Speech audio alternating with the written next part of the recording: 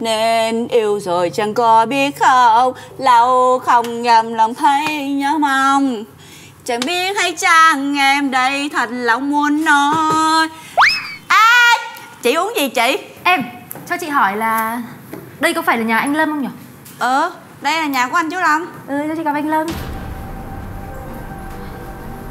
Chị kiếm anh lâm có gì không? Đương nhiên là chị gặp anh Lâm thì có việc rồi. Mà em là ai? Ừm, là vợ tương lai của anh chú. Anh lâm Em là vợ tương lai. Thì có nghĩa là chị là vợ trong quá khứ của anh Lâm Cho chị gặp anh Lâm chồng đi làm rồi chồng không có ở nhà. Đừng có kiếm chồng làm gì hết? Đi về đi bây giờ nghỉ đóng cửa quán không bán nữa. Bây giờ chị có về không? Chị không về. Chị có về không? Chị cần gặp anh Lâm. Chị có về không? Không. Chị không về thì tôi đi vô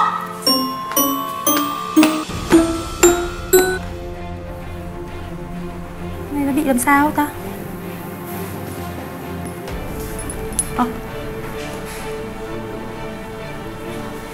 bây giờ hỏi lần nữa bây giờ có về không? Chị đừng có trách nha.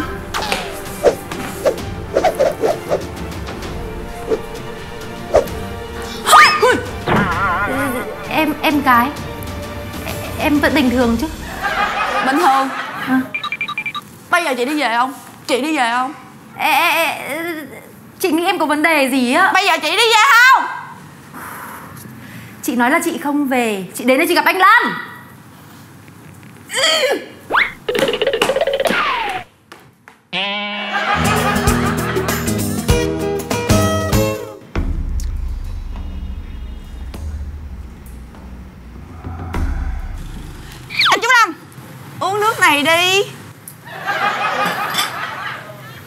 Anh à Hôm qua á, em nghe nói là có người Gọi anh là chồng tương lai đó. Ờ thì đúng rồi. Dù gì á tôi cũng sẽ trở thành vợ tương lai của anh chú lâm. Quỳnh nè Con đừng có nói chuyện nó lung tung. Người ngoài người ta nghe người ta không hiểu á Người ta suy nghĩ bậy kỳ lắm đó. Chị đã nói với em rồi. Chị á là một phần hết sức quan trọng Trong quá khứ của anh Lâm. Anh Lâm nhỉ? Quỳnh nè dạ. Hai người gặp nhau rồi hả? À, Huyền Trân định cư nước ngoài lâu rồi. Bây giờ về thăm uh, cha con chú đó. Anh à, à Em có một điều bất ngờ dành cho anh á. Ừ, Em có pha trà anh thích này. Anh uống thử xem có đúng không nào? À, Trời ơi Sao anh kiếm được lò trà này hay vậy? Anh kiếm lâu lắm rồi á. Anh uống đi. Quỳnh Con uống thử lò trà đi. Lò trà này không chú được thích lắm. uống không được uống không được uống đâu uống cái này nè tại vì hôm qua anh chú lâm bị chuột rút á rồi em về em nghiên cứu á là phải pha nước chanh rồi bỏ muối vô trong đó thì mới bổ sung được muối cho cơ thể và sẽ không bị chuột rút nữa. Kiến thức thật là uyên thâm.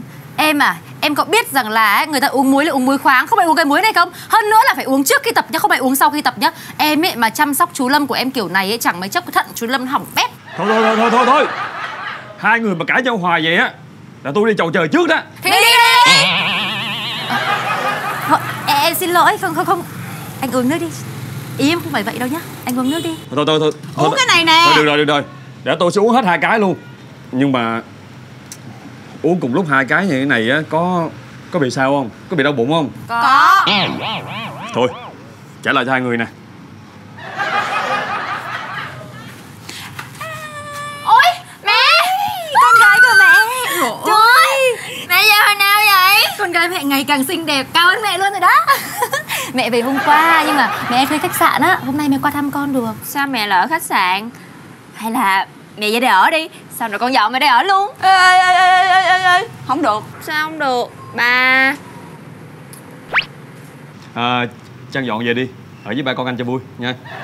Vâng ạ. Ờ vậy bây giờ con đi dọn phòng cho mẹ nha. Mẹ cảm ơn con rất nhiều. Cảm ơn ba Anh ơi Con gái mình á Ngày càng lớn càng xinh đẹp ngoan ngoãn anh á Với cả Em sẽ về ở với ba con anh nhé đương nhiên con gái lớn lên xinh đẹp là nhờ ba rồi chứ trông chờ vào mẹ thì có mà chết à. Này cô kia Tôi nhịn cô quá rồi nhá. Tôi nói cho cô biết Cô là một cô gái trẻ xinh đẹp. Rất nhiều người theo đuổi Tại sao cô lại đi theo đuổi một người đàn ông đã có gia đình? À, nói được chữ gia đình thì phải thương yêu gia đình mình chứ. Tại sao lại bỏ rơi gia đình mình? Mà bây giờ đã bỏ rơi gia đình mình thì quay lại tiếc nuối làm cái gì? Tôi nói cho cô biết nhá Không một quá khứ Sẽ không có hiện tại nhá. Ôi, Ôi mà. lỗi nha Anh im Anh ngồi im xin lỗi chị gái thôi ơi, quá. thôi thôi thôi thôi thôi thôi được rồi được rồi. Tôi có ý kiến như thế này. Người nào về nhà người nấy để cho cha con tôi được yên đi. Trời ơi